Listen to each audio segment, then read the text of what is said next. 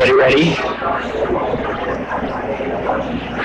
Um, before I introduce tonight's guest, I've been asked to remind everyone um, about tomorrow night's lecture. It seems our uh, Monday night lecture series is becoming a Monday and sometimes Tuesday and once in a while Wednesday night lecture series, which, uh, as far as I'm concerned, is great. The more the merrier. Um, tomorrow at 7 o'clock, Steve Izenour from Robert Venturi's office will be back uh, for the sequel to his January lecture. He'll be talking about uh, current museum projects from the office. Um, and he's been generous enough to come back for free, so you won't have to pay to get in like you usually do. Um, I know this is a pretty busy week for everybody, but I'd like to encourage you all to attend his lecture as well. And thanks for coming out tonight. Um, tonight, it's a pleasure to be able to introduce you all to Wes Jones. Wes is a principal and the director of design for Holt, Hinshaw, Pfau Jones in San Francisco, one of the best known and widely publicized young design firms on the West Coast. Since 1987, the firm has won PA awards for six of their projects. Wes? Close enough? um, including the winning competition entry for the Astronauts Memorial at the Kennedy Space Center, uh, which I hope Wes will be talking about as part of his lecture tonight. He holds a Master of Architecture degree from Harvard. He did his undergraduate work at Berkeley and West Point um, before moving to San Francisco and joining Holt, Hinshaw, and Pfau. Uh, he worked for Peter Eisenman at Eisenman Robertson Architects in New York as a project designer on the Wexner Center at Ohio State. He's a recipient of the Rome Prize in Architecture as well as numerous other distinguished design awards. Um, this semester, Wes is teaching a design studio at Columbia, so he's, he's pulling this every other week, fly back and forth across the country um, lifestyle these days. And we were lucky enough to convince him to um, jump out of the plane today uh, in one of his cross-country flights to stop briefly in Muncie to speak to us tonight. So, without further delay, please give a warm welcome to Wes Jones.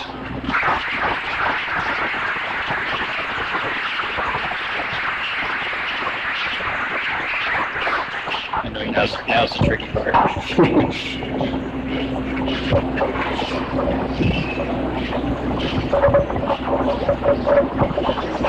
Rudy, can you hear me? Um, again, I'd like to thank you all for showing up. I understand you're all on charrette, and uh, I'll try to make it worthwhile. For those of you who do have to get back to the studio, this should last about 55 minutes. And I'd like to encourage questions afterward, but again, if you guys are busy, I'll, I'll understand. So I guess uh, if we can have the uh, lights, we'll start. Do I do lights? Okay, great.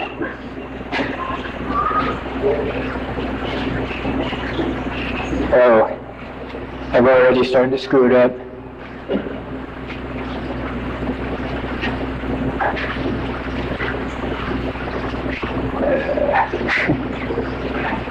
Just a little preview. Okay, now. Okay. Architects like to think in terms as big as the stuff they make. And by big, I mean basic. They're conditioned to this by the sheer scale of the architectural endeavor and by the fuzziness of understanding what exactly or actually architecture is. They assign on purely intuitive, practical grounds an importance to the architectural endeavor. Then they try to justify this importance. That is, they try to make an understanding of architecture which lives up to these expectations. If building is so big, if it represents so great an investment, if it is to quite literally make up our whole environment, we will call it architecture. In order to understand architecture as an idea beyond the common notion that it is merely a superlative of building, we can also consider it in this way. We can see it as a frame we place around certain experiences, buildings or otherwise, which says that these are architecture. This is a reading orientation. It sees architecture as an overlay onto an otherwise pre-existing condition in order to render that condition meaningful. It frames that condition as the intentional environment. It creates the expectations we feel in the presence of those conditions selected by the frame that they have meaning, that they are capable of, that they even desire being read, being given attention, or being engaged. But when it comes to characterizing what this environment is, the frame does not say so much what is inside as what is outside. These architectural experiences, the frame delimits, are characterized on the one hand relative to building, but as more so. On the other hand, they're related to art, but as less so. This gives us function and utility versus art and expression. But from each extreme, architecture itself is banished. It is too much an art to be mere building, yet it is constrained by too much function to be pure art. So, strangely enough, for so apparently emphatic a presence, architecture occupies the fuzzy zone in the middle.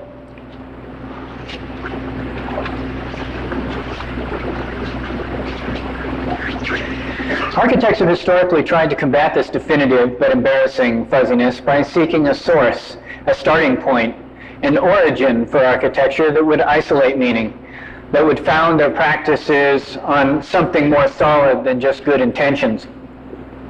From such a starting point, it seems like it would be an easy matter to trace the evolution of the discipline and thus pin down architecture's real, precise nature, to root its apparent presence in an equally satisfying explanation. Yet each act of discovery has ultimately turned out instead to be an invention. What is revealed is not a true ancestor, innocent of its own future, but an expedient and suspiciously exact confirmation of the discoverer's own beliefs. The most well-known example of this is contained in an essay on architecture by the Abbé Laugier, written in 1752. Laugier tries to deduce some, quote, first principles from the evidence in the classicism of his time, and then to turn around and discover in these principles the authority which blesses that very classicism. This tautology was reinforced by two mutually exclusive goals. To demonstrate classicism was an absolutely natural phenomenon, and to give a complete picture of architecture based on extrapolation from these naturally deduced first principles.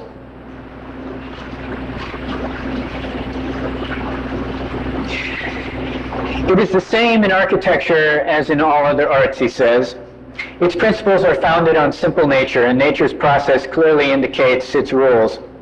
Let us look at man in his primitive state without any aid or guidance other than his natural instincts. He is in need of a place to rest. On the banks of a quietly flowing brook, he notices a stretch of grass. He is drawn there and stretches out at leisure on this sparkling carpet. But soon the scorching heat of the sun forces him to look for a shelter. A nearby forest draws him to its cooling shade. He runs to find a refuge in its depth, and there he is content. But suddenly, mists are rising, swirling around and growing denser, until thick clouds cover the skies. Soon, torrential rain pours down on his delightful forest. The savage does not know how to protect himself from the uncomfortable damp that penetrates everywhere. He creeps into a nearby cave and, finding it dry, he praises himself for his discovery.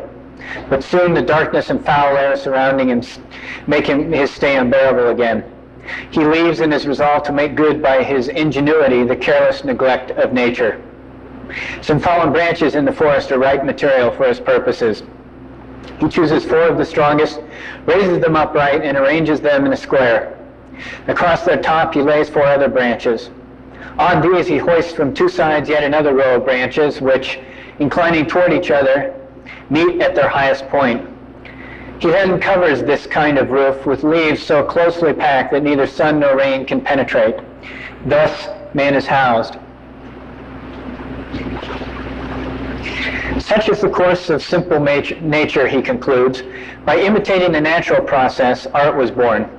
All the splendors of architecture ever conceived have been modeled on the little rustic hut he has just described, he claims.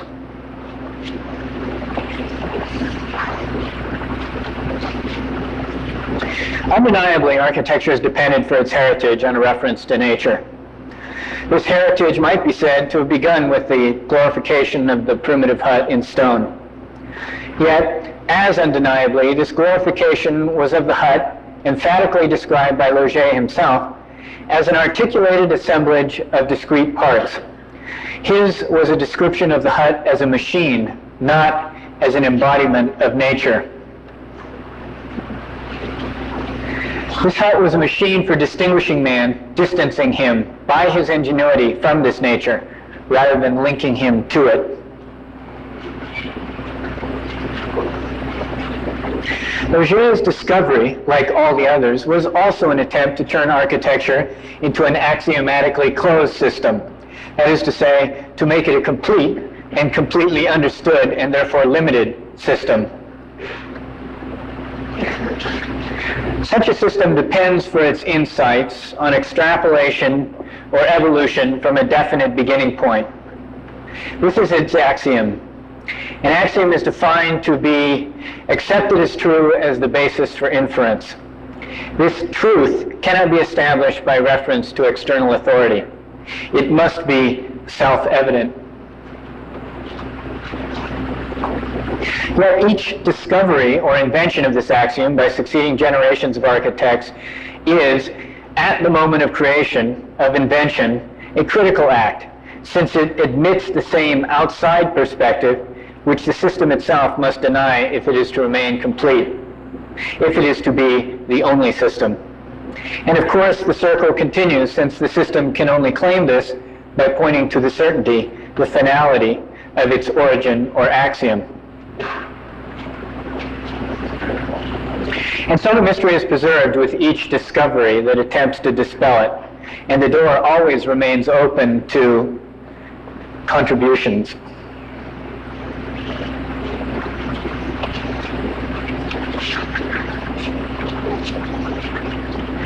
Since form is not exhausted in function, since there is always a distance between form and function called expression, architects are continuously led to ask the central question, what does architecture express?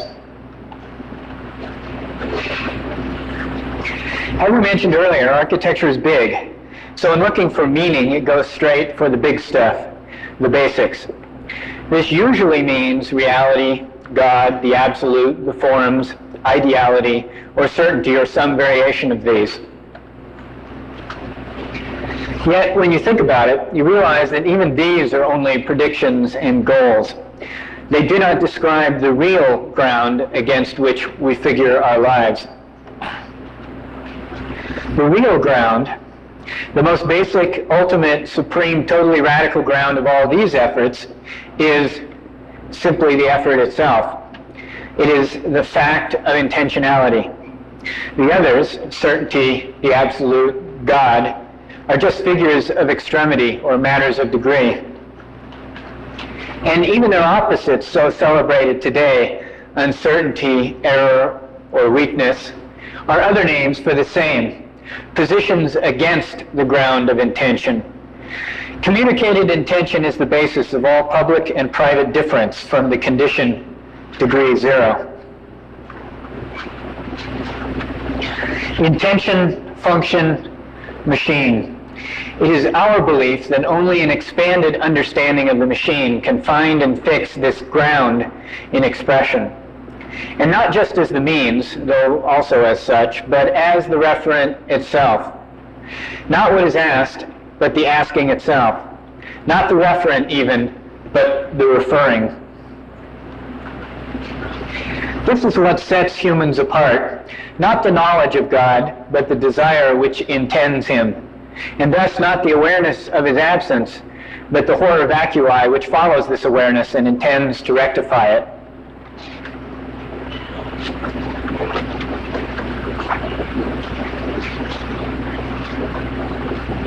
Man stands today on the twin thresholds of the stars and of destruction.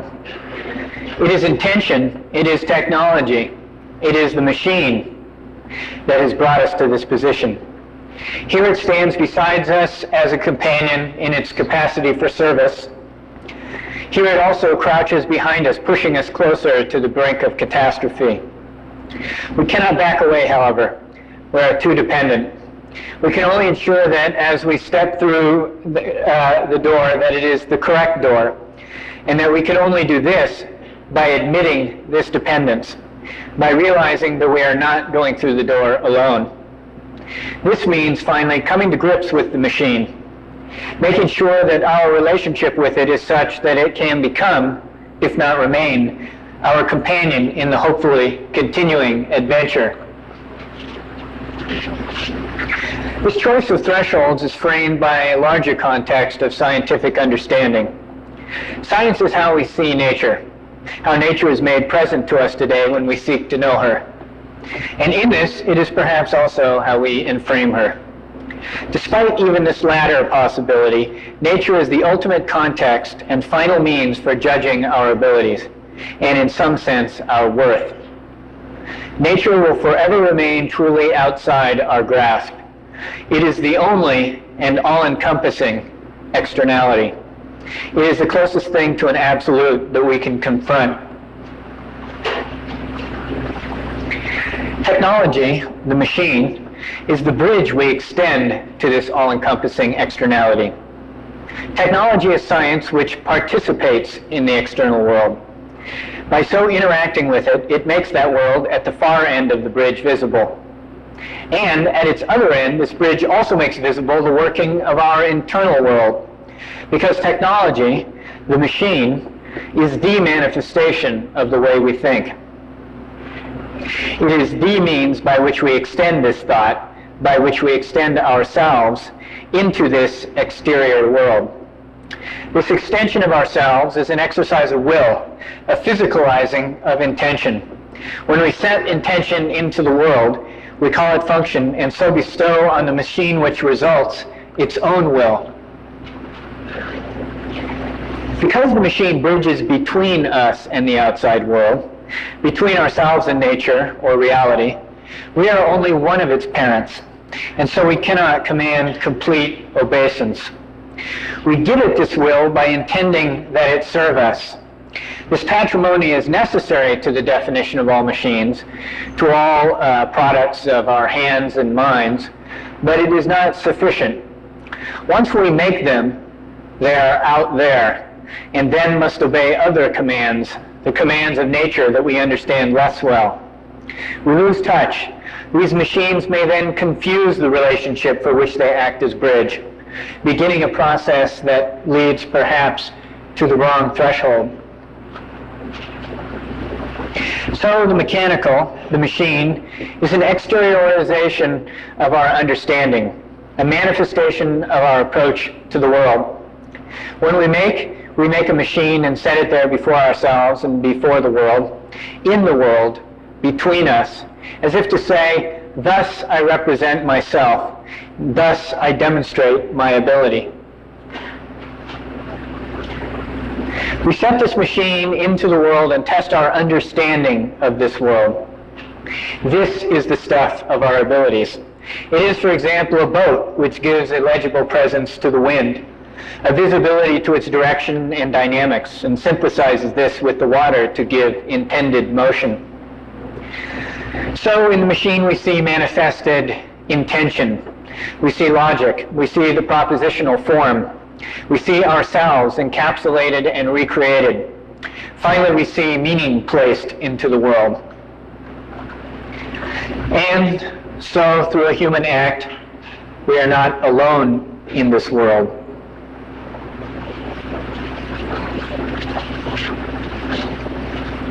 Now I say machine in all this instead of technology because at the scale of human empathy for or engagement in the world, reality is and will remain inescapably Newtonian or mechanical. We live in a Newtonian world. Though we can talk about relativity and quantum mechanics, the Big Bang and the quark, we can only experience mechanical relationships.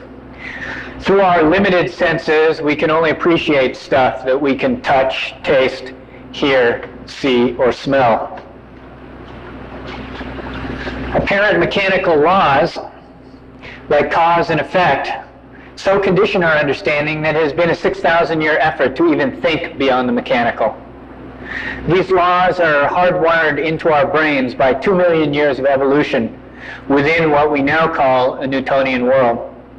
It might even be argued that those advances beyond mechanical thinking by the Einsteins and Hawkings of the world were not only mechanically bootstrapped into existence, but remain as viable concepts only by reference to mechanical analogy, whether as transcendent of this analogy or as reactive to it.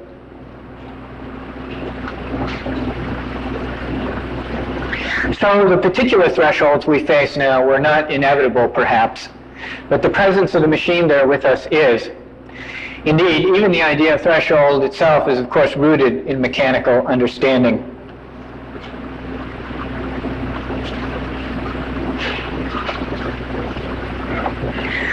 And this brings us to architecture again. Architecture is the way we legitimize our view of our position in the world. It is the biggest thing we make, and because of this, an agency through which we grant authority to the accepted view of our place in the order of things. Which is why, in my opinion, postmodern historicism, for example, is such an embarrassment to architects who believe that architecture still bears this responsibility to society. Architecture does this through representation. It represents to us where we are and how we stand in this world. This official representation occurs through reference to external authority, thus endowing itself with this authority. As we saw previously, this authority, this absolute, is, was, and must be nature. But of course, it is nature filtered by our understanding.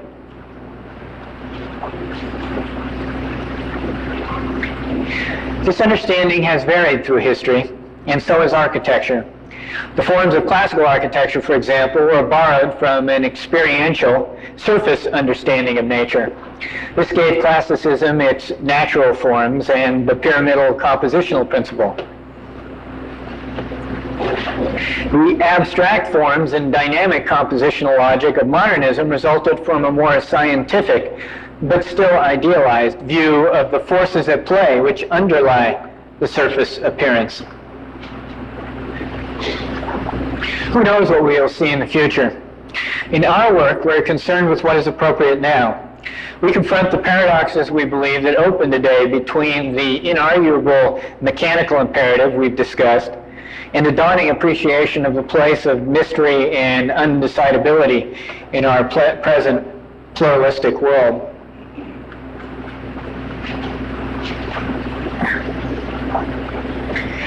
Even if we find ourselves at the threshold of destruction, it is clear to us that the battle for our planet's future will be fought within technology, not against it.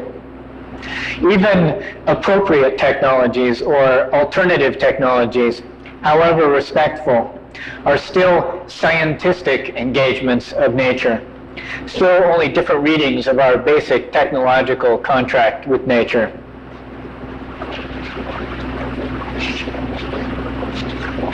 Admittedly, technology is at least the proximate cause of our environmental problems.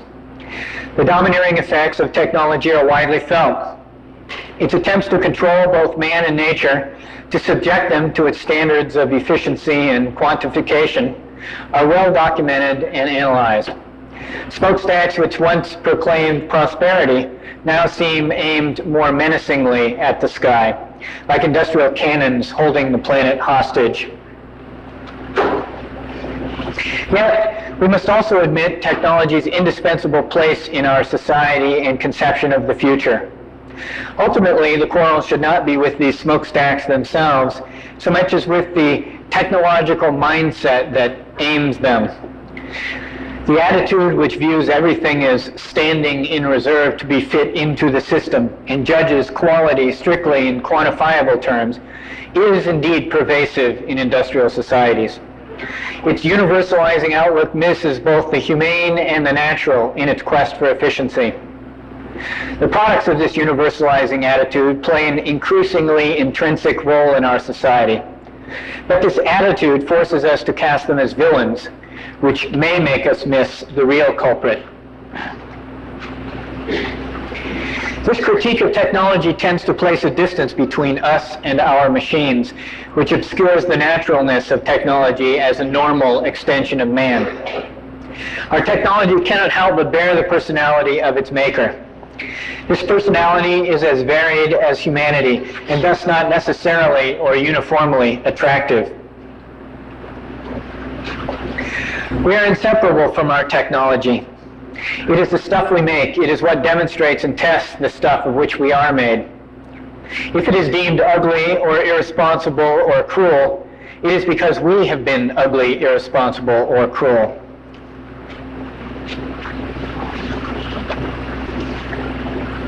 The sea change in consciousness that appears to be dawning today describes the magnitude of the changes necessary to effect a true and lasting impact on our relationship with the planet. This change of consciousness must begin with a new heightened awareness and understanding of our relationship to our technology. It is only by this route that any uh, substantive change in technology's relationship to nature may be effected.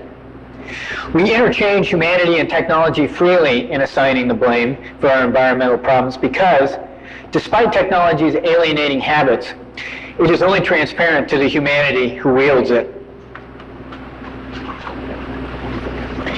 The problem is centered precisely here, in the attitude which views technology as something to be wielded, something raised against something else. Whether this something else is truly worth a battle, like poverty or hunger, or is indifferent, like the weather, by wielding technology against it, an attitude is fostered which damns the wider consequences. The us against them combative mentality may lead to quick solutions, but seldom to lasting ones. Technology is not a weapon, but a tool and a mirror, and increasingly, inescapably, a companion. Selflessness and sacrifice, however noble, however helpful, are not in themselves solutions, though. The image in this mirror will not go away. We are tied to technology by more than just a selfish regard for the comforts and security it provides. It may seem a cliche to say that man is a machine, but this phrase neatly captures still the limited range of physical experience available to humanity. Technology is a direct expression of how we inhabit and engage the world, a direct outgrowth of our perceptual and cognitive abilities and limitations. And technology is, finally, humanity's own creation. The difference between technology and nature is the difference between man and God. Technology may yearn for the perfection of nature, but like its own creator, it must be satisfied with worship. If architecture expresses our place in this cosmos, then, it, then its formal referent must ultimately be of that world. It must be nature. Technological form is directly expressive of what nature demands or will allow. If architecture retains its traditional role as a vehicle for placing us in the world, then science and technology act as the map. This is an approach which looks through technology to the people who make it, the people who use it and depend on it, and most visibly to the nature which allows it and is made more present in it. This amounts to a spiritualization of technology. Today, the change in consciousness proposed by so many prefigures a new technology of spiritualization, which would once again place technology at the center of our dwelling upon the earth as a visible expression of the relationships that may be fostered there.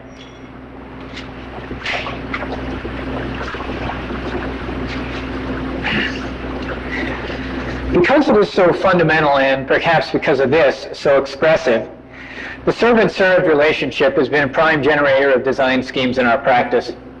We have explored in our work various permutations of the basic idea, from, say, the shell served by internal mechanisms and the surface supported by its attendant frame, to natural phenomena served by the expressly artificial.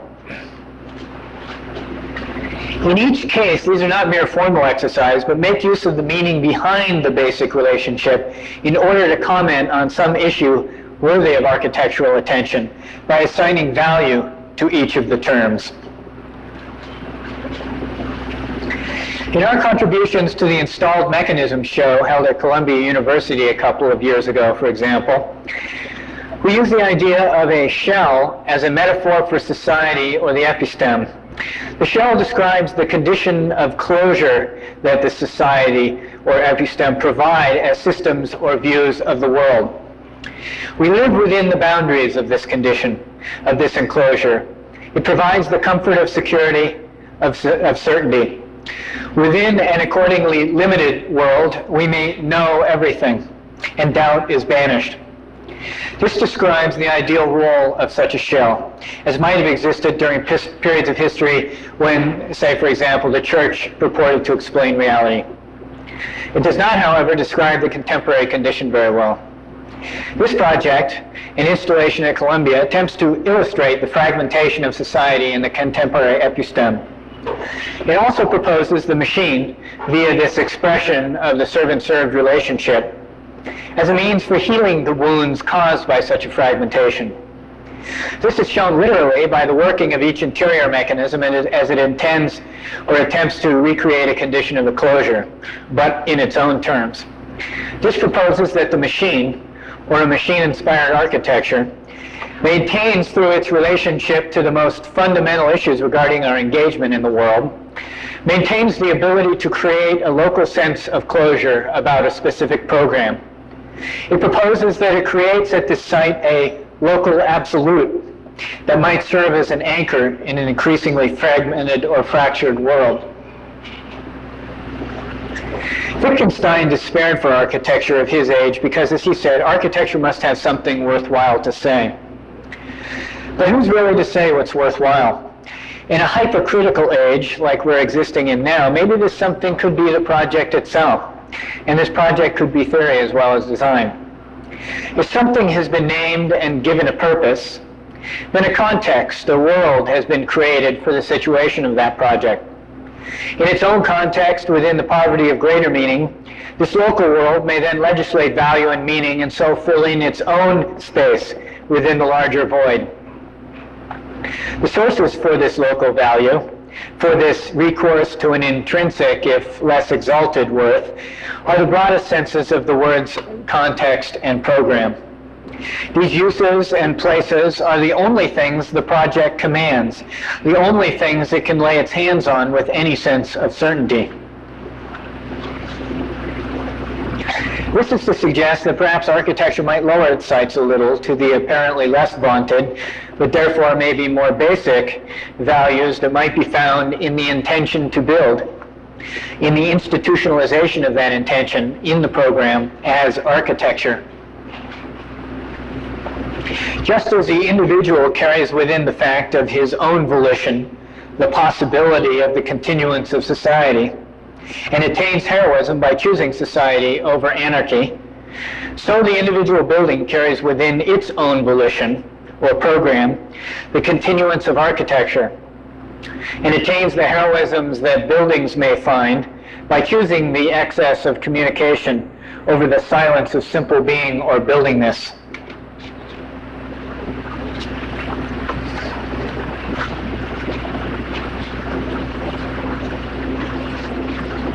The servant-served relationship that such a reading suggests is perhaps even more directly expressed in its surface support frame manifestation, such as shown here in our astronauts memorial. In this case, the supported surface is a 40 by 50 foot sheet of mirror polished black granite, through which the names of the fallen astronauts have been cut the frame, which supports this granite, also carries a set of mirrors which direct sunlight through the name so that they glow against the sky reflected in the mirror finish of this granite.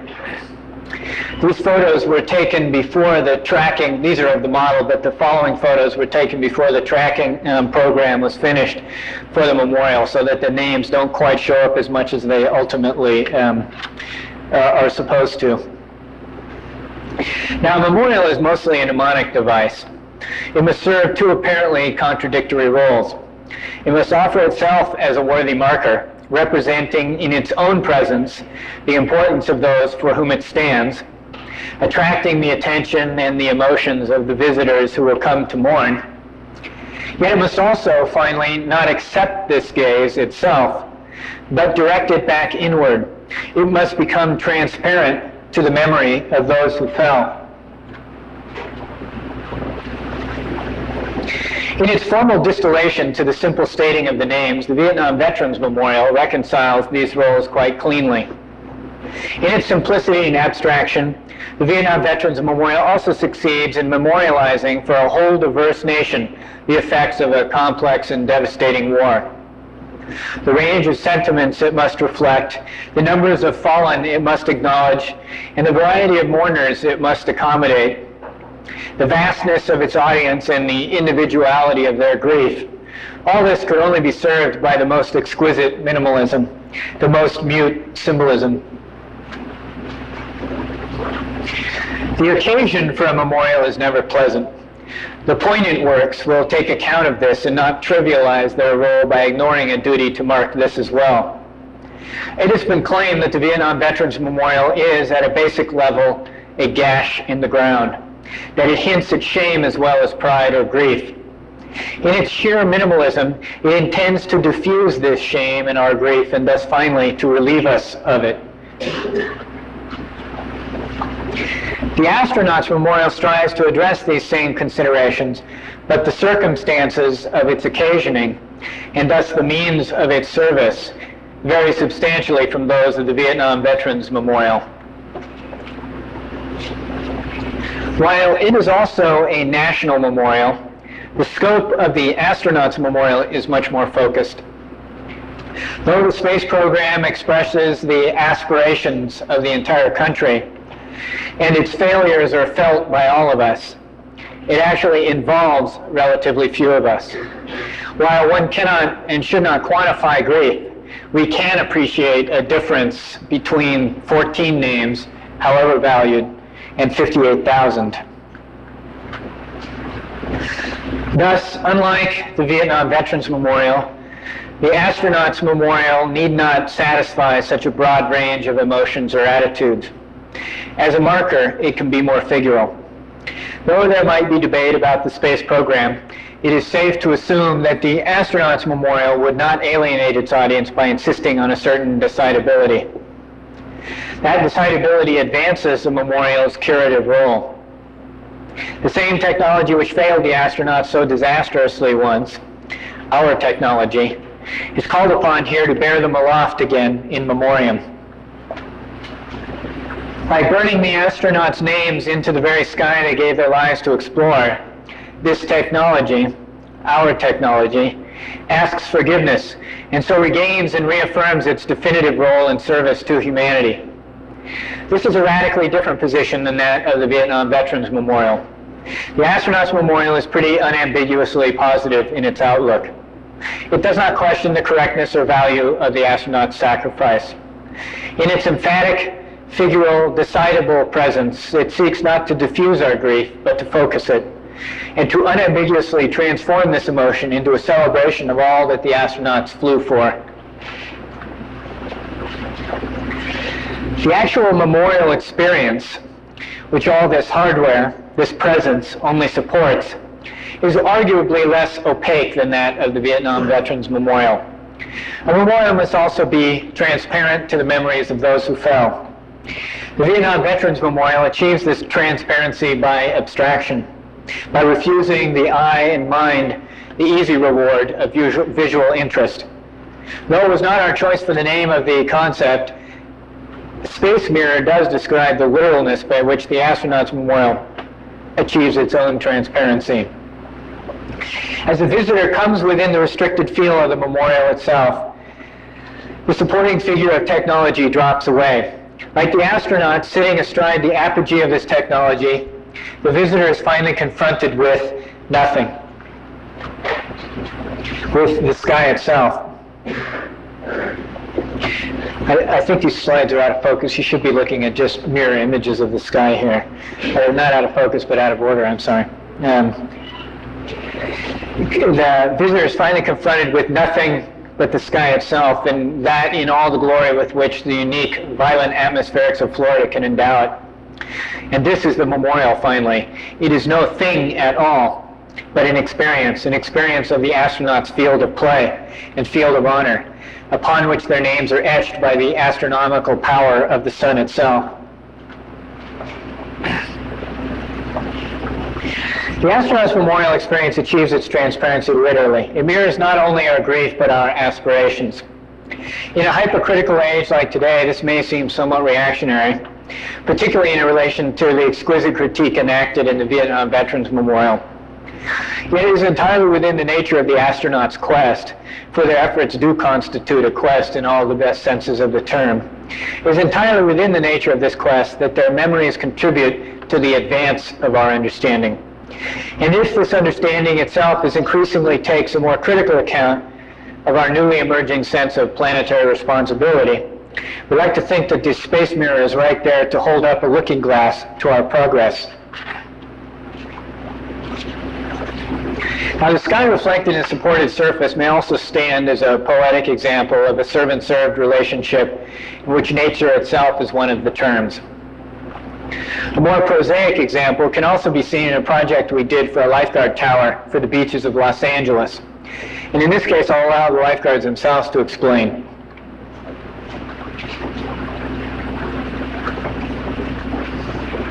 And I guess I'll read this just to time it myself. Um, actually, let me go back if I... Bob, I've been thinking, if what Heidegger says about technology is true, uh, that it like uh, teases nature into unhiddenness? Yeah, if that's true, then it unavoidably places the machine behind all experience as a sort of MacGuffin or frame. MacGuffin. You mean like Hitchcock? Like how? Yeah, kinda, or Derrida.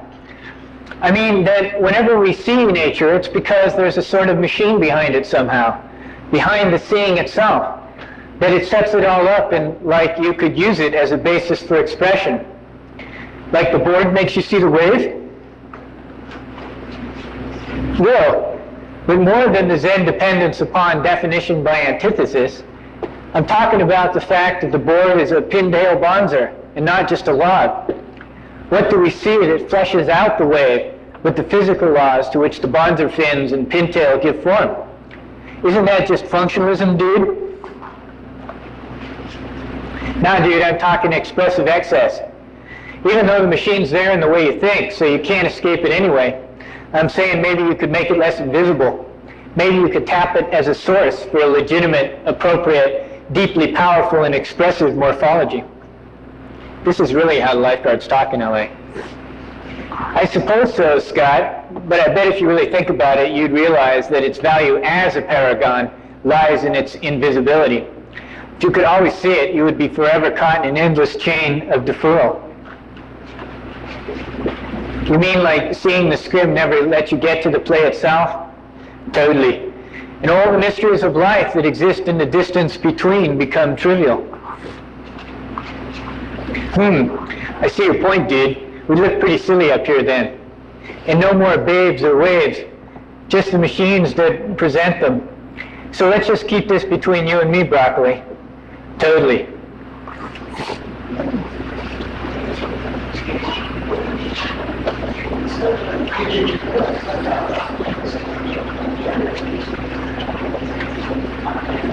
And so obviously privileging the servant side of the relationship in our work, we intend to give to the attitude of the whole made up by this servant-served relationship a feeling of the servant relationship.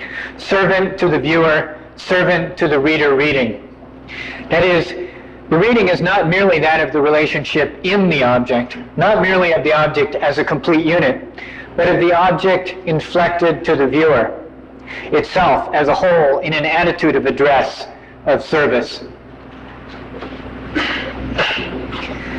Since the message is one of service, or at least engagement, this internal relationship becomes a means of amplifying or embroidering as an echo the primary relationship between the viewer and the object. The hermetic quality of the closed couple is thus defeated not by opening that couple so much as by taking that couple itself as a term in another open relationship. then the lawn chair is an obvious example of this. Another is our universal display system for the details office products member of the Steelcase Design Partnership. Within the servant-served operating concept, we drove this design toward two primary goals. First, that the system be very flexible without turning to mush. And second, that it have an engaging personality without becoming cartoonish. Flexibility became the major form determinant. The unit is divided into two major components which serve as the two terms in the servant-served relationship. An articulating support frame and a two-part skin system, itself somewhat adjustable. The skin provides the surfaces for display, while the support frame holds the skin in various positions in space. The support frame also carries supplementary lighting, literature, and security measures. Flexibility comes with the working of this frame and the interaction of the frame with the skin. While the skin itself is internally adaptable to different attitudes, the articulating frame can set the skin into any position, taking it all the way from being a wall to a table, from vertical to horizontal display. In addition, any number of skin types may be created. By resisting the apparent usual imperative to systematize everything, we have given the units a much higher degree of flexibility. Basically, anything that can be bolted, clamped, wrapped, glued, tied, or otherwise stuck to the frames can qualify as a skin. The specificity and strength of these frames themselves, coupled with the lack of specificity in their interface requirements, gives the units a presence which defeats the usual tendency of flexibility to lead to anonymous mush. The operational simplicity provides a clean datum that encourages adaptation, yet polices this adaptation's tendency to diffusion. It provides the design display with a backbone.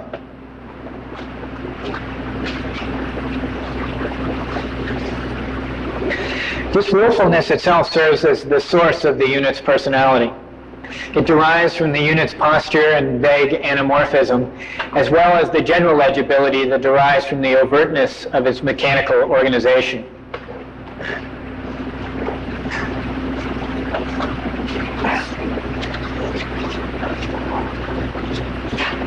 And in conclusion, a little thinking about America. In 1948, after World War II, when America had emerged as the undisputed leader on the world scene. John Kouwenhoven wrote a book called Made in America, in which he tried to explain what was so special about American stuff. This is a question that has always interested us because intuitively we've always seen our work as essentially American. We've always considered it to be in contrast to the distinctly European modernism of Foster or Rogers, or in contrast to the general run of historicism that must also look to Europe for its inspiration.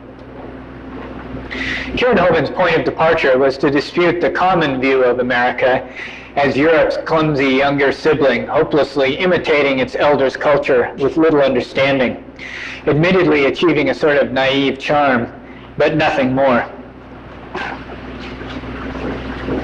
Unlike earlier commentators who had taken culture as the point of reference, Kouwenhoven recognized the central role that the machine, that the emerging developing technology, played in forming a uniquely American sensibility. This was the sensibility of, as he put it, the first people in history who, disinherited of a great cultural tradition, found themselves living under democratic institutions in an expanding machine economy.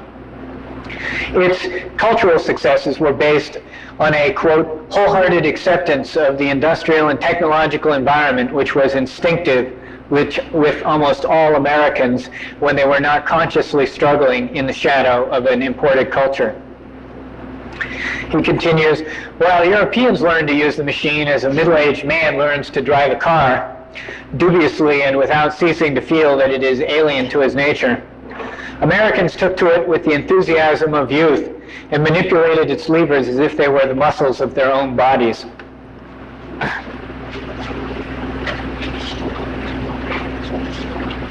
More recently, Thomas Hines wrote about this same spirit in an article in the New York Times.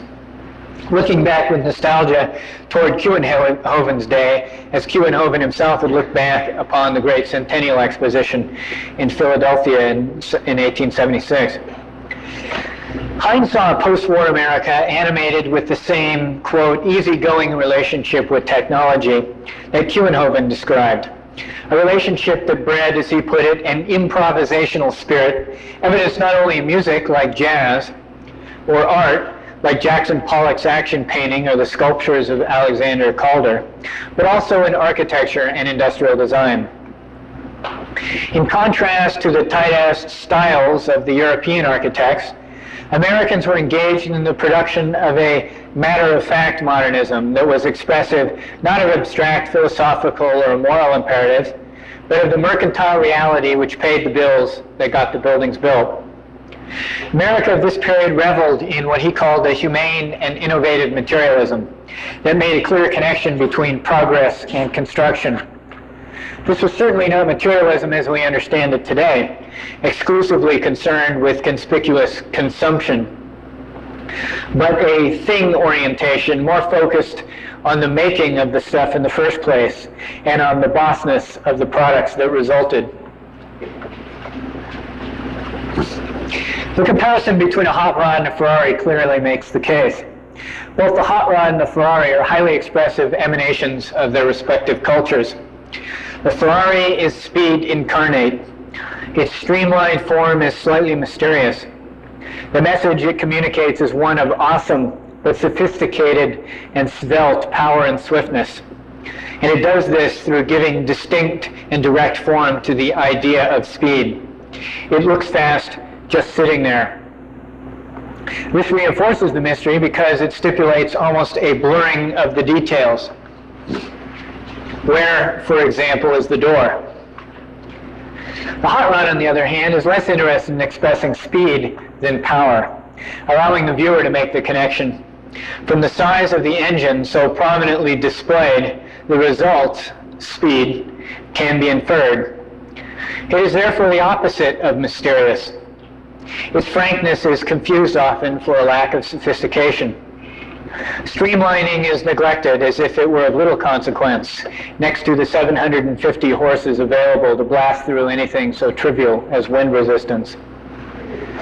The artwork which adorns the hot rod, the flames, the pinstriping, and performance stickers, the Ferrari shutters, are all as direct in their message as the gleaming power plant, flaring exhaust pipes, and fat tires as obvious and, I think, satisfying as this image is, it is not entirely valid today, however, for both good and bad reasons. Today we are a little more conscious of the adverse environmental effects of such unrestrained exuberance. We might offer up instead as a good example of the unique quality of American stuff today, the high-performance sailing craft which defend the America's Cup. Also today, however, that innocent materialism, which drives expression at both these extremes, is being increasingly replaced by a more worldly, service-oriented consumerism. Today, right now, Ferraris are being built by European architects like Norman Foster or Richard Rogers, while Americans do not seem to be producing hot rods, maybe escorts, maybe even Saturns, but no hot rods. As Thomas Hines explains, this has had dire effect on our easygoing relationship with technology and dilutes the specialness that sets American stuff apart. He says, by the 1950s, the visionaries had dropped out of the marketplace. Goods had become dematerialized. We learned to, atta- to become attached not to any particular thing, but to the practice of buying things. General Electric told us that its product was not stoves or steam irons, but progress itself. Features multiplied. The workaday turned stylish. Blenders, for example, offered the meaningless choice between puree and liquefy. This process has continued, he continues, and the more ideals we embrace, the more trash we produce. Like dust balls under the bed, objects proliferate beneath such abstractions as comfort, convenience, progress, or prestige. Our lives fill up with products that few of us can understand, let alone repair. We tend to view technology as a mysterious alien force rather than as the sum of our improvisations, the activity that makes us human. The easy confidence of the immediate post-war world will never be recovered. And the popular modernism that it was expected to produce was probably little more than wishful thinking in the first place, he concludes. Still, it might be possible, even necessary, to be at ease once again with our artifacts issues that once seemed remote from design, environmental, economic, social, or even technical, may force Americans to take their materialism seriously again. Perhaps in our architecture, at least, we can reaffirm our commitment to and continue to explore the range of what has made America unique. Thank you.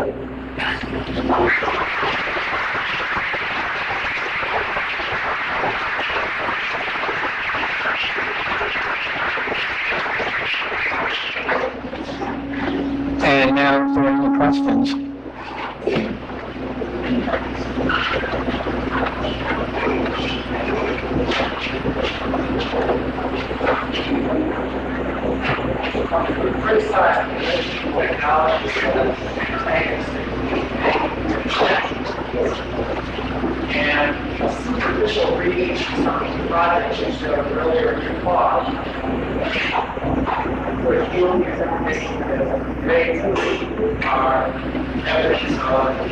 conventional technology, it's not the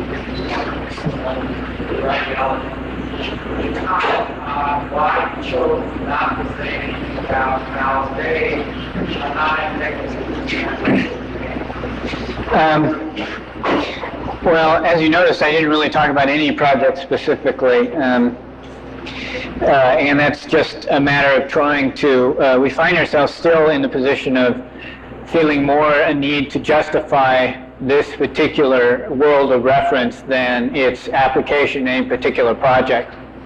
Um, we have tried using uh, um, what has recently been called middle tech forums in ways that belie that attitude toward nature that they have in the past become indicative of. For example, on something as mundane as the uh, Right-Away ready mix dispatch building, um, there is a certain amount of uh, steel festooning the uh, face of the dispatching area on that building that is there to make the point about what a direct influence the sun itself has on the dispatcher's activity. In this case, um, uh, there's a lot of technology there, uh, the, creating the sunscreens that go up and down on the one side and, and not only go up and down on the other side, but also have a little uh, pair of uh, shades, so to speak, a pair of dark glasses that the dispatcher can look through both to see the trucks and the uh, plant itself. And in other situations and other projects, we've tried to do the same kind of thing, using these forms um, in ways that help to try to make issues of this relationship um, with nature or with the program, with uh, the human activities that the uh, projects are supposed to um, uh, support uh, or celebrate uh, a little bit more visible, but using that same general uh, formalism.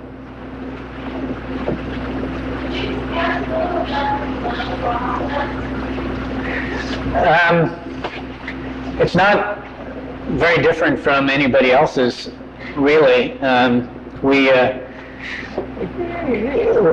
presuming we've got a job, we uh, we uh, go through uh, uh, somewhat extensive programming uh, process with the client, with the interest in that phase being trying to get the client to see the problem as more than just a set of numbers and a set of square footages to house, but to try to figure out what it is that's unique in that client's particular requirements that we could also use as a, uh, a, a, guide to making some, some nice stuff.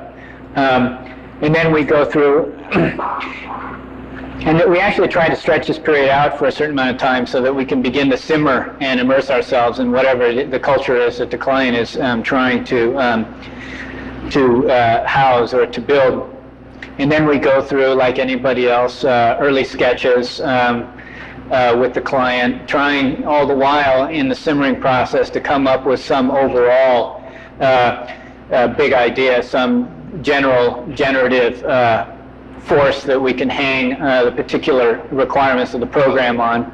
And then just take that through a normal uh, schematics, DD, and working drawing process. The only thing that might be unusual, and I suspect it's probably not, is that the design continues throughout that process. It's not like we finish schematics and just hand it over to a production department and then they just build it, but rather a lot of the uh, the design continues all the way in through detailing and some changes are made even in the field and that of course makes for some tense situations with the production department. But uh, it's the only way that you can really um, make sure that if you're dealing with uh, what might otherwise be perceived as a mundane middle tech kind of approach that it doesn't end up being that. And of course we can argue about whether we've been successful in that but that's been our intention. What role does the computer play in your office? Uh, it sends out billings and it processes words and it occasionally does perspectives and on some projects, very few, it actually does a certain portion of the working drawings. It doesn't do details, but it does do plans and reflected ceiling plans and in some cases elevation. But uh, we're really, as I suspect many offices are these days, uh, slaved to the one or two individuals in the office who actually know how to speak to the computer. And uh, since our entire office is not computer literate, it has been less useful to us than it might otherwise have been. And this is just a matter of laziness rather than any kind of conviction we have that the computer is evil or that uh, it's not appropriate or anything like that. Someday when they have the systems that are really that the SOMs of the world have, that small offices can have, where we will undoubtedly jump in with both feet. Uh, my question is concerned development of technology uh, for architecture. And I'd like to start to comment on the mentioned progress. Um, where this is coming from is the working robotics of the last decade, where they had to re-establish the parts and mechanisms the actual working philosophy of robotics and pipes and pumps and cables and things that we have as a palette right now. And so my question is, in your use of technology, are you using a palette of parts that are already out there? And is your firm here to actually develop um, technology to create architectural spaces and uh, that are not by us? I want to know how much research and development you actually do in are towards the parts that you do and what you see in the future in light of what's going on in. When we pick the parts or systems or whatever it is that we use precisely for their expressive abilities. A lot of the trends in technology are towards invisibility and a masking of expressiveness, which is exactly counter to what uh, we're after. So, for example, for very practical reasons, uh, the most up-to-date robots and stuff aren't festooned with the pneumatics and, and, and other cables that its predecessors were. But I think for that reason, at this particular time, suffer a lack of expressiveness. Since what we're trying to do is, is get, engage the user or the viewer to draw them into a kind of a dialogue with the object. And one very uh, uh, commonly uh, understood or felt relationship is, is with the, the machine as a sort of what is going on. Um, we're not a very big office, and R&D involves a certain amount of money. We do tend to to fabricate many of the things that you saw ourselves, um, and to the extent that that constitutes a sort of R&D, we do advance in our understanding with each project, and we subscribe to the Tomcat, um, which not many architects, I imagine, would, and uh, Design News, and all of the technology uh, um, uh, newsletters, but uh, we just don't have that many opportunities to really test the uh, envelope, so to speak, as much. We do have a lot of stuff up our sleeves that we're waiting for a project to come along that we could try them out on that might be a little bit more um, impressive, you might say, in what they actually do. But I think we're committed uh, for uh, the foreseeable future to doing stuff in a more visible way rather than a less invisible way. Now, we haven't spent much time at all with uh, tension uh, technologies like fabric and that sort of thing, um, and that's just that's almost that's more of a personal thing than anything else.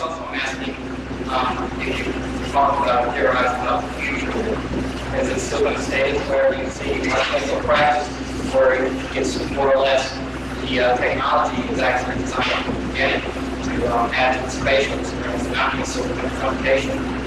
And so then talk about um, the actual architect with the people like that. So you're not using these products for practical purposes, whereas so, Yeah, no, I, I wish that were the case, and I think it is the case in certain situations, like you mentioned with Foster Rogers, who, who get the budgets to be able to do that.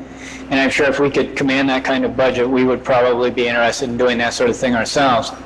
But um, we are also very interested, unlike I presume they are, in positioning our work as a vernacular sort of thing. So that in regards to our view of the future, if sort of our physical presence on the earth serves as a limiting factor, as I mentioned in this discussion of the scale at which we dwell, uh, the sort of Newtonian scale at which we dwell, I think we're going to be condemned to a mechanical presence for as long as I can imagine until we can start teleporting and things like this. And so there will be a certain um, respect for physical laws and that sort of thing as is embodied so eloquently in the wide flange or a trussified uh, frame, that sort of thing. And so I think that uh, what, what the story we tell to ourselves is that we're building now a vernacular that could last for some time. Something uh, that uh, you said the last couple of answers uh, has had something that I got from show. Um, a number of times you referred to works as phased objects. And just going through the show and realizing what I see in the office is work in various magazines and, and finding it extremely attractive. Um, but all of a sudden, I, I started thinking, I don't know if this is critical or not. Uh, something that seems to work very well externally and, and structurally. But upon reflection, I realized I've never seen the inside of anything you've done. I've never seen the inside out. And I don't know, what, what do you think Well. Uh, It's probably because we haven't done many projects that had insides. Um, it, and we've gotten a few projects in the office now that will be the first projects that we've had that have insides that would be worth paying attention to. The other ones were, you know, like the batching plant or the uh, film and take archives or insides that are interesting but not necessarily people spaces. I don't see what I'm talking about as being um, particularly uh, constrained to an external appearance. I think that you could take a space like this and imagine it uh, in the way that I've been talking about and begin to understand how the surfaces could be activated. And I don't mean necessarily physically mo- movable, but activated in a good old-fashioned sense of the term. The ceiling, the uh, balcony could certainly be made more uh, engaging. All these things could occur exactly in the terms I think that I've been talking about.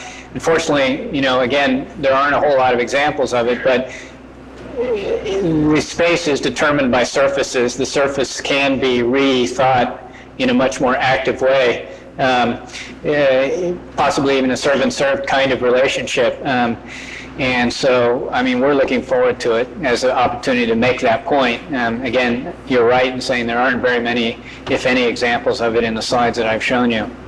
But I think that, you know, it- it's an old, it used to be an old sort of, like, like learning the letter in doing working drawings. Once you figured out how to letter so you didn't look like a novice, then you were in. It used to be an old thing in, in, um, and probably still is, in architectural education. that There was a point at which you stopped puzzling over the visibility of space and had become so invested in that concept that you began to think that you could in fact see space. Whereas any brand new student will, could never understand what you were talking about. I don't see any space. All I see is walls and a ceiling and everything. And I think that that confusion does um, still contain a little bit of truth. That in fact, what you really do see is the stuff that makes the space. And you can get a feeling of the space, but the stuff that makes the space is what can be subject to design. And that's precisely what we think the machine, you know, whole mechanical analogy can be useful to energizing. Yeah?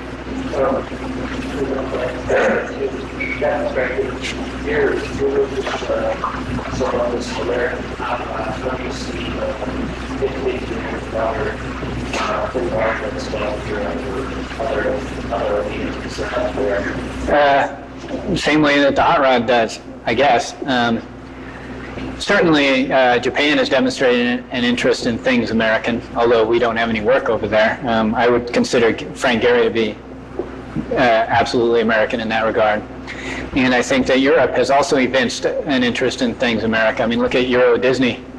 Um, hopefully, uh, what I'm proposing might be a little bit more. Um, uh, I don't want to say friendly because obviously Disney, you couldn't get friendlier than that, but a little bit more um, uh, engageable on European terms than uh, that. The only thing I'm trying to do is, is, is say that there was and still continues to have the possibility of being something that is America's contribution to the cultural pool.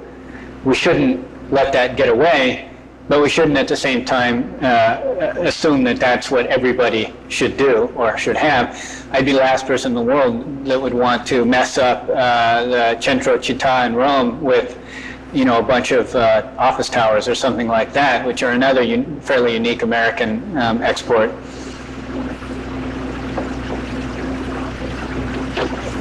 Yes, uh,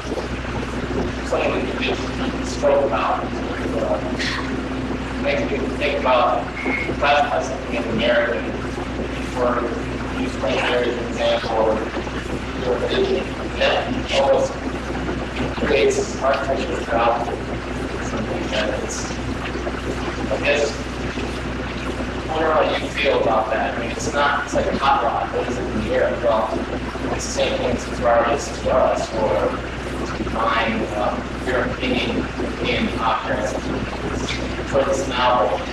I think I think that's how. This idea of being sort of national Well, obviously, I'm sort of overstating the case, um, but I think that that's a lot of what Europe, a lot of how Europe or Japan looks to us is for what you're saying is novelty, what you could otherwise consider to be uniqueness. Um, uh, some things that don't have that flavor uh, might be more, you know, specifically scientific uh, exports or something like that, which are fairly international these days. But I don't think that the mere novelty of it uh, makes it uh, inappropriate or devalues it in any way. I mean, novelty just means newness or difference, um, and that's not in itself a negative thing. Maybe when you put it in terms of McDonald's or Disneyland, it might begin to be perceived that way. And I think that there's nobody more cynical about that application in Europe than the Europeans who are importing it. I mean, I don't know what the formula is, but I believe that a lot of people in Europe are making money over that project as well. And uh, uh, so I don't see that as a problem, but that's not how I would see it in America. I mean, I would see it as, uh, you know, a, a re, and I, and I think it would break down within the United States on a regional basis as well. I mean, certainly an application of these ideas in Hawaii would look quite a bit different than they might in Maine or, uh, or North Dakota or something like that. And Florida would be different again. But the point is, is that they're all basically uh, ways of looking um, at nature through the problem and trying to make that evident. Now, again, as science has rendered technology as varied as, uh, as it has, so I would imagine that the uh, forms that might be adopted would be as varied. Certainly, if you were trying to uh, take a different uh, way at expressing the statics uh, that are involved in, in building, you're going to end up with much different forms if you were to uh, work on uh, tension structures as opposed to compression structures, et cetera, et cetera. And, you know, we would propose, we would suggest that the work of our firm only represents the thinnest segment of possibility within that general attitude. the issue of uh, national the content for national technology. um, Like, uh, here are people, uh, designing of areas, um, and, and these environments are pretty similar environments are very technological way, that's very aware of. Emergency valves, since they don't have them all, and uh, corridors, and their infrastructure, and the reason for that being is that's a very dangerous environment. Um, They are very, uh, strong. Um, It's kind of, um, the emergency, in case of emergency valve. I guess, the land as well, or office, um, I'm wondering what's wrong with mask to create an which is very black. It's, uh, it's, uh, it's it's an additional tier of damage of design for one possibility, exactly like that. You know, technology there. Well, I don't think anybody knows it's there. I think in the general run of things, uh, suspended ceiling isn't isn't masking something in that way. Uh, I think it's just avoiding the problem. Uh, you know, again, there's always a delicate question if it's viewed as an imposition. I mean, if you're forcing people to live in a in a technologically intensive environment, right? Do you need to, to, to stick it in their face all the time? I think that the answer to that is, is basically uh, is you're not is is kind of halfway uh, between the talent of the people who are doing it um, and the education of the people who are viewing it. Um, so that, and I don't think there are any hard and fast rules. Certainly, in, in a certain situation, you might want to have a very uncluttered environment, say, um, for, for uh, increasing concentration or something like that. But I think that the way that that has gone about nowadays is just out of uh, habit and ignorance rather than any intention to um, hide stuff. Now, part of the problem we face today in the United States that, that, that is less of a problem in Europe is that we are slaves to the standards of the building trades, the conventions and systems that are available to us economically, none of which uh, is assumed to be visible, all of which is assumed that it doesn't have to take its appearance into account because it will be hidden.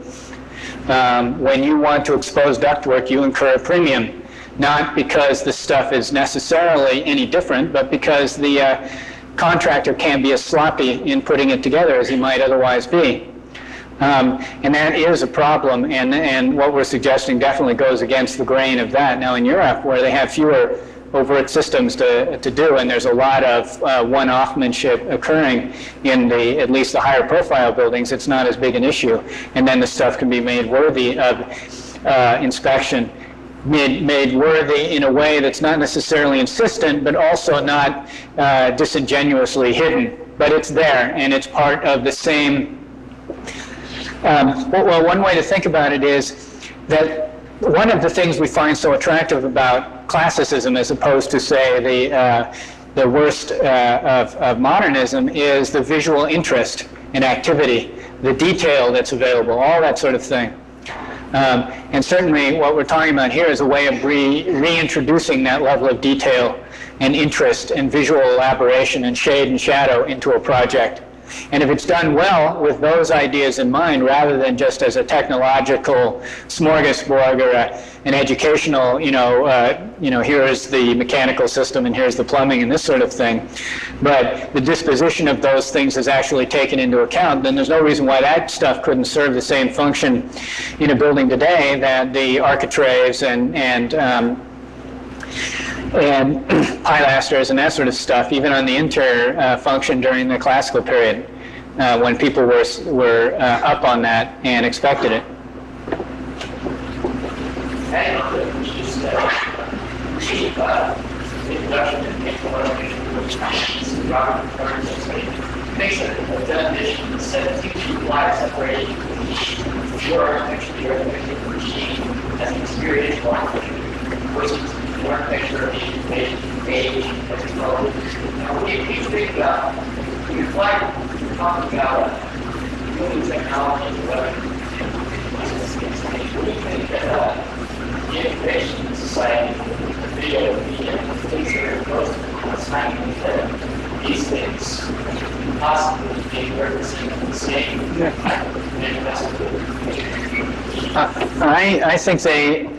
uh, represents something quite a bit different and a great danger to architecture, actually, because that technology is all about dematerialization and disembodiment and um, the, the uh, devaluation of things present.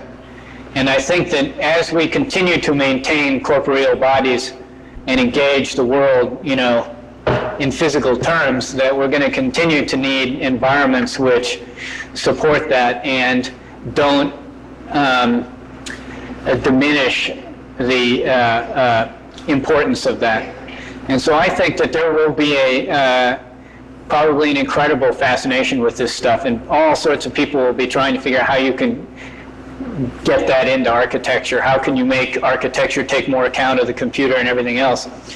But the problem is, is, is to the extent architecture continues to shelter and we haven't invented some kind of force field system or something like that, there will always have to be a thing there. And you can make that thing be covered with video screens and that sort of thing, so it's it's changeable or whatever else. But I think, and I think that there will be a, a brief interest in that on an incredible scale, and then it will sort of simmer down to being yet another tool at the architect's disposal.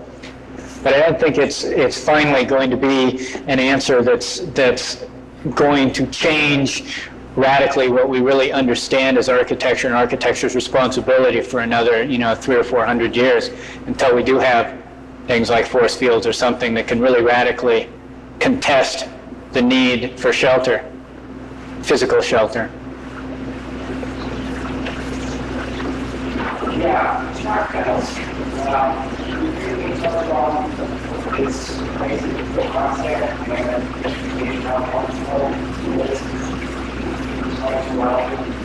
Um, the tract house, um, that is a house that's very specifically attempting to be a critique of the prevalent trends in Southern California suburban housing, um, which are um, the dislocation of the house from anything other than its garage and driveway, and the you know the connection of everything via the car, the um, trend to maximize the collage, what we call a collage of features or amenities within an envelope that is uh, basically maxes out the, the allowable building area on the site. So you end up with these massive two-story shoebox pigs, we call them, you know, with a little bit of Tudor applique on the front and a, in a hot tub and cathedral ceilings and river rock and all this kind of junk, and 15 bedrooms and 27 baths, which are way beyond what the uh, whole American dream as realized in the uh, suburban ideal uh, was originally. And this is trying to say that um, you can enhance the quality of life, you can have more contact with your yard, you can have more uh, valuable experiences, and still maintain whatever amenities and features you want in a much less space just by distributing it more differently on the yard and making um, the space uh, that you do have serve double duty with the yard so that some of the spaces are inside outside space. Sort of it's almost a re, re um, uh, introduction of uh, Frank Lloyd Wright's Usonian ideals uh, of you know the flow of inside to outside space, the hearth, the center, the working uh, guts of the house, um, and trying to make all of those active uh, conditions of dwelling. The house is uh, eminently tunable in response to the environment and in response to the seasons, unlike the uh, air-conditioned uh, uh monsters that are, are, are, being built now that leave so little yard left. There's no point going out there. And, and anyway, that's basically what the point of that exercise was. And it stands in the office now as a kind of someday we're going to we're going to get to build it, um, but we have to wait for the economy to get get moving again.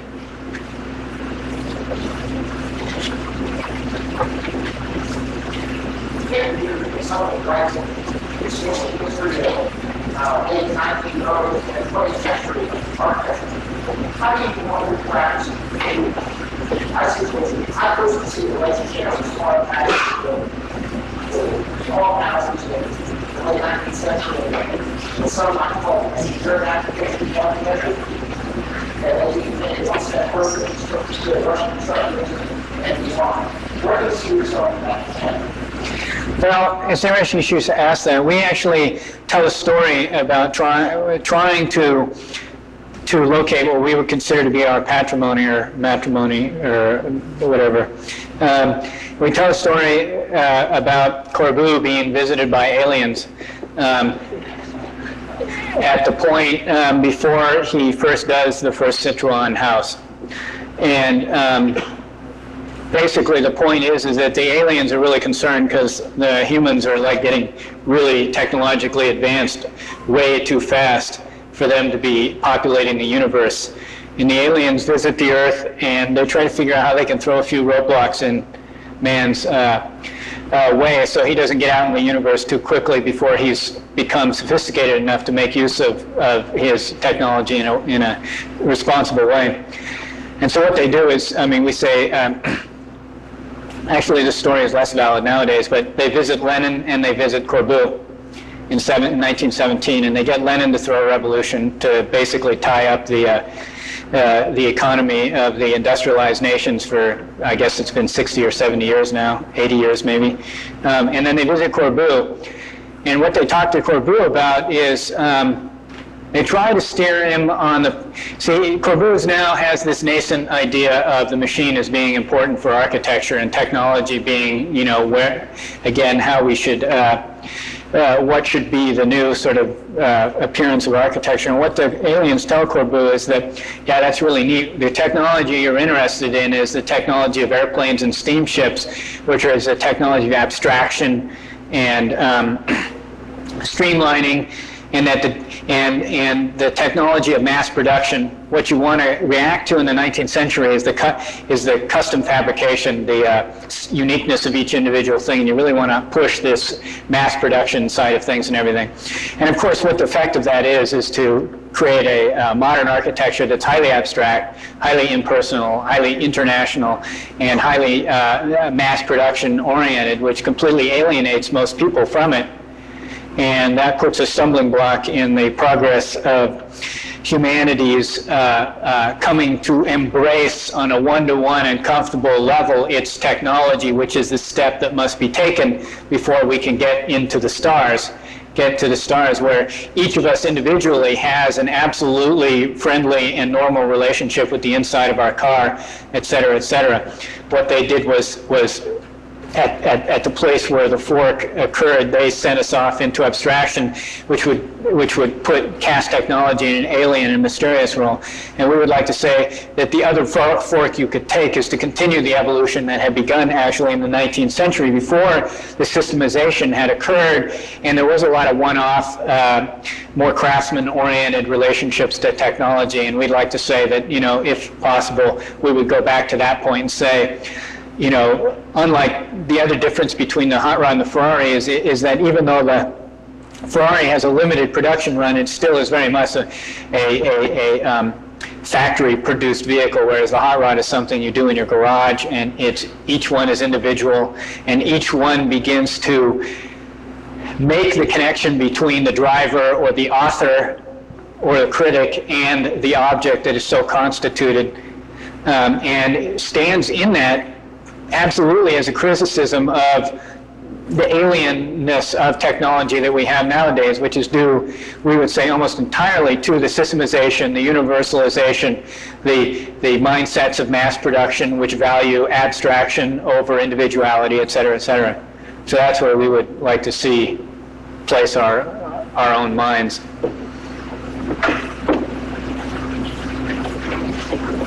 Okay, well, thank you.